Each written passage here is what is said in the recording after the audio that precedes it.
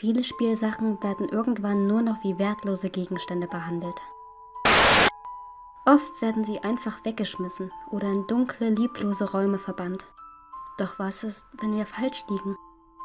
Was ist, wenn manche von ihnen auch eine Seele haben? Und was ist, wenn diese Rache nehmen will?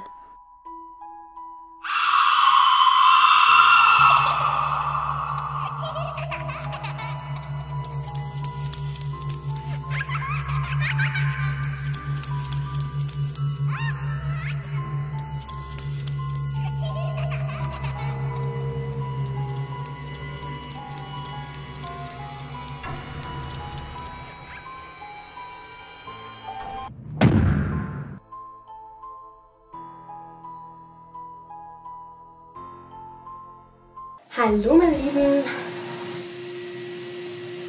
Nicht wundern, mein Papa bohrt. Willkommen zu meinem neuen Video. Heute gibt es ein neues Make-up-Art und zwar, wie ich im letzten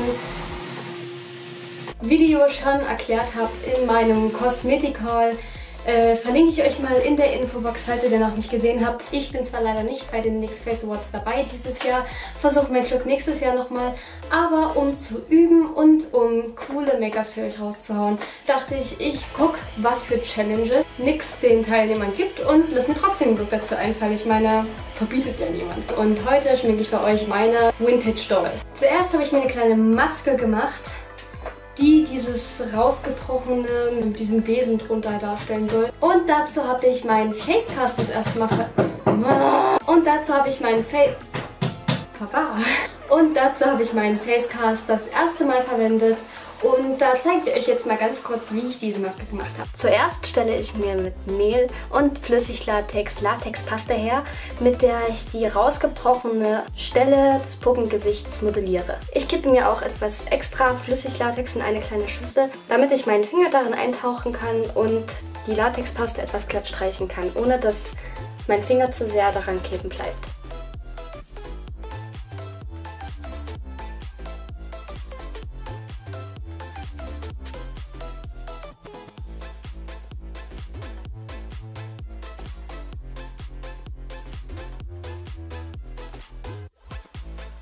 Diese rausgebrochene Stelle hier, die werde ich jetzt weiter mit Latex bearbeiten. Und zwar probiere ich mir hier eine schön grisselige Hautstruktur zu machen. Und ich werde mir eine sehr böse dreinguckende Augenbraue hier noch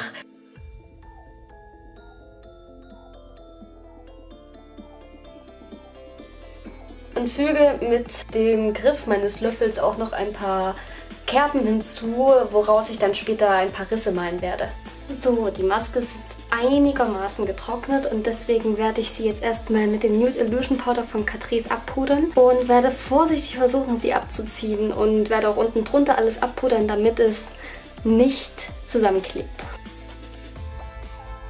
Okay, jetzt werde ich schnell meine Haare zurückbinden und dann sehen wir uns gleich wieder.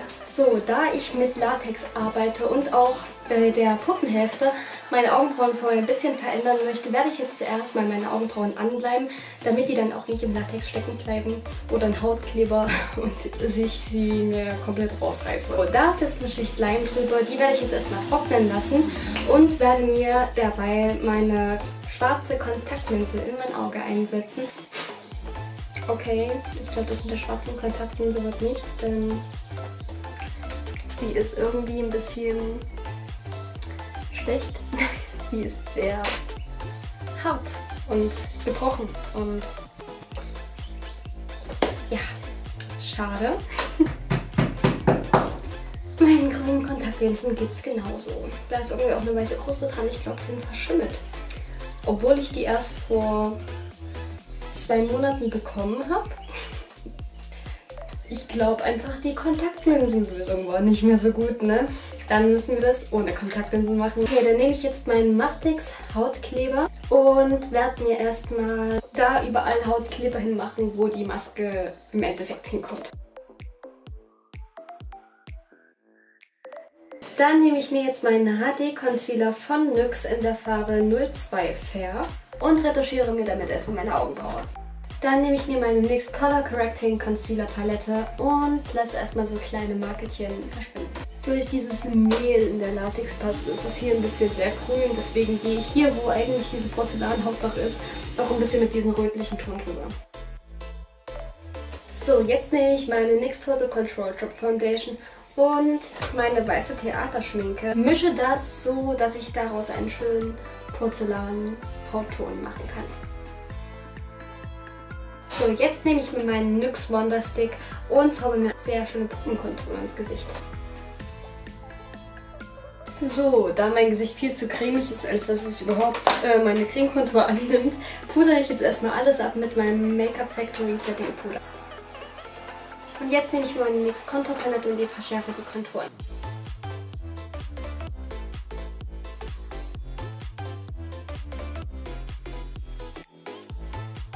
Jetzt nehme ich mir einen helleren Ton und hebe das, was hervorstehen soll, hervor.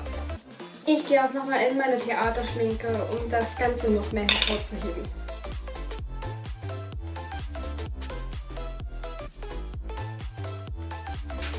Jetzt nehme ich mir meine Tame Frame Pomade und zeichne mir eine etwas künstlichere, puppenhafte Augenbraue.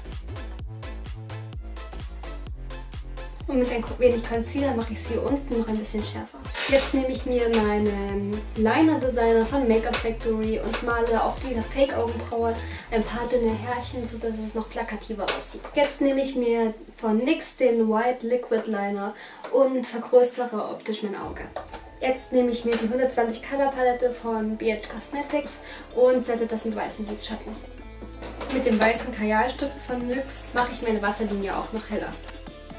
Und jetzt umrande ich dieses Puppenauge nochmal mit meinem Liner Designer von Makeup Factory. Und die Puppenaugenbraue ziehe ich noch mit braunen Lidschatten nach. Dann mache ich mir noch einen schönen blauen Lidschatten. Jetzt nehme ich meinen Defining Blush von Catrice in einem schönen Pink und mache mir ordentlich Blush auf die Bäckchen. So, jetzt mache ich erstmal die andere Seite weiter. Ich nehme jetzt erstmal schwarze Theaterschminke und werde hier erstmal alles mit schwarz anmalen. Und jetzt sette ich das noch mit dem schwarzen Lidschatten von Makeup Factory. Jetzt nehme ich wieder meinen Eyeliner von Makeup Factory und ziehe diese Risse hier ein bisschen nach. Jetzt gehe ich über das Ganze nochmal mit ein bisschen dunklen Braun drüber.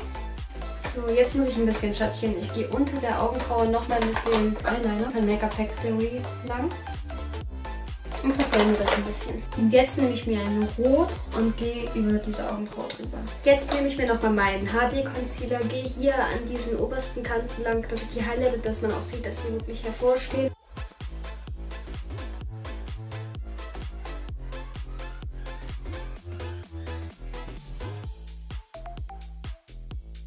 Und jetzt mache ich hier noch einen schwarzen Kajalstift in meine Wasserlinie. So, jetzt mache ich erstmal meine Wimpern. Und zwar tusche ich die erstmal, die oberen Wimpern, mit der Wolf der Hype Mascara. Und jetzt klebe ich mir oben eine Wimper auf. Und zwar von Red Cherries, die LEL Flashes. Meine innere Wasserlinie mache ich mir da jetzt auch nochmal schwarz. Und an meine untere Puppenwasserlinie klebe ich mir jetzt meine Ardell Natural Lashes. Und außen werde ich noch ein bisschen mit schwarzen Lidschatten vertiefen. So, jetzt nehme ich mir mal meine Ten Frame äh, Augenbrauen Pomade und einen so einen ganz, ganz, ganz dünnen Pinsel. Und ich will mal versuchen, ob ich so Sommersprossen hinbekomme. Irgendwie gefällt mir die Kontur noch nicht. Ich will die Kontur noch vertiefen. Das wäre eine Porzellanpuppe ohne Glanz. Da nehme ich jetzt aus der Mrs. Bella Palette äh, Unreal jetzt mache ich noch diesen typischen Puppenmund. Dafür nehme ich mir den The Ball Meat Net Rouges in der Farbe Loyal. So, aber nur außen, denn innen mache ich jetzt meinen neuen Anastasia Beverly Hills Liquid Lipstick in der Farbe Carina. So, den Rest meiner Lippen mache ich jetzt nochmal mit Concealer weg. Jetzt nehme ich nochmal den weißen Liquid Liner von NYX und setze ein paar Highlights. Jetzt schmiere ich mir hier auf diese Hälfte noch ein bisschen Kunstblut, bis es einfach nochmal gruseliger wird.